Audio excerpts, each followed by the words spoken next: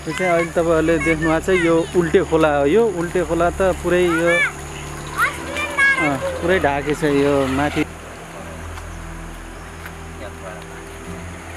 पुरै यो त ऊबाट आफ्नो लिग भन्दा नि माथिबाट गइसक्यो है।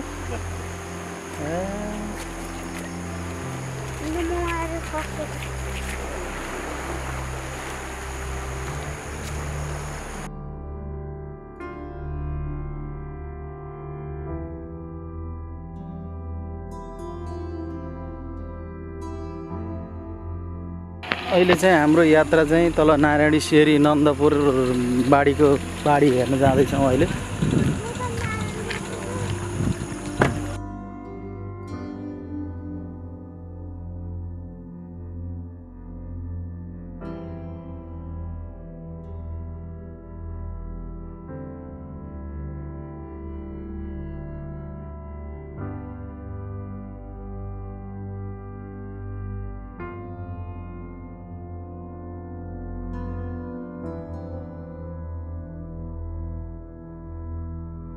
राति सुतेकै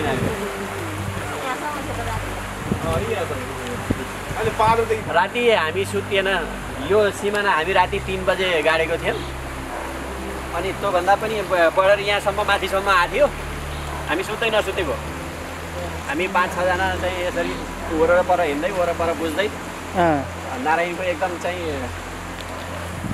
पुरै अनगिन्ती चाहिँ भेल पानी त्यस्तो भइरहेको थियो। हामी त्यही भएर सुतेनौँ।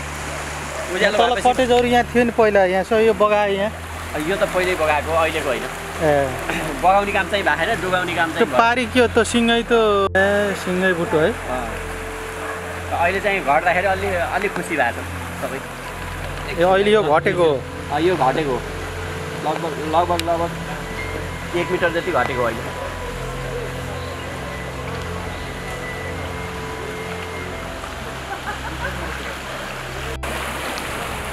काटै।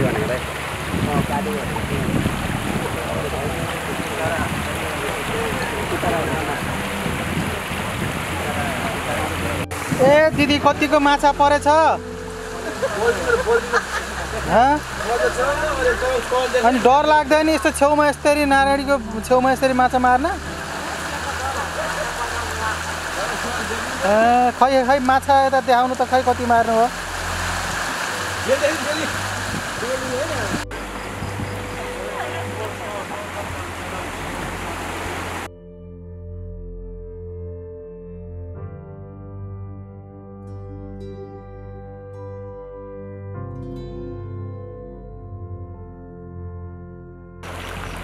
कति मार्नु हो त दिदी माछा खै। माछा परे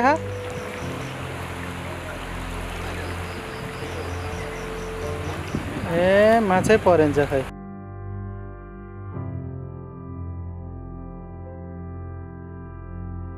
अहिले हामी यहाँ सेरी नन्दपुरमा छौँ। यहाँ यो नारायणी यो तलबाट बग्थ्यो। अहिले यो पुरै यो तल माथि पुरै डुबाएको छ यहाँ।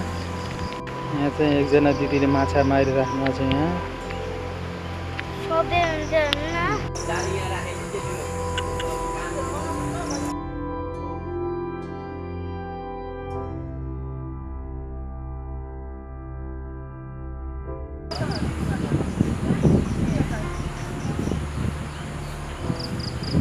नानी के नाम हो तिम्रो?